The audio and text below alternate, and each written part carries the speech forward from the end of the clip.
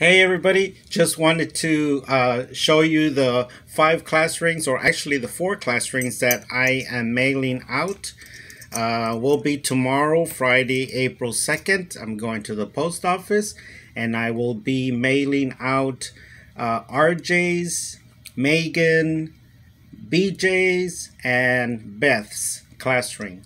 Uh, yeah, so I just wanted to share that with you. That's what I'm working on right now. I'm packaging each one of them.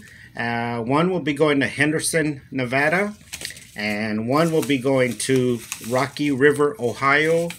The other one is going to Oakland, Maryland, and the last one is going to Wylie, Texas. So yeah, so I will be sending them off tomorrow. Um, and the other one that I have that belongs to charity, um, from the parents' request, uh, I will be sending it to them uh, the end of April. So yeah, that's it. I just wanted to share with you about the class rings that I'm packing them, and yeah, I'm excited. Finally, you know, it's come to that day. So tomorrow I'll be mailing them out. All right.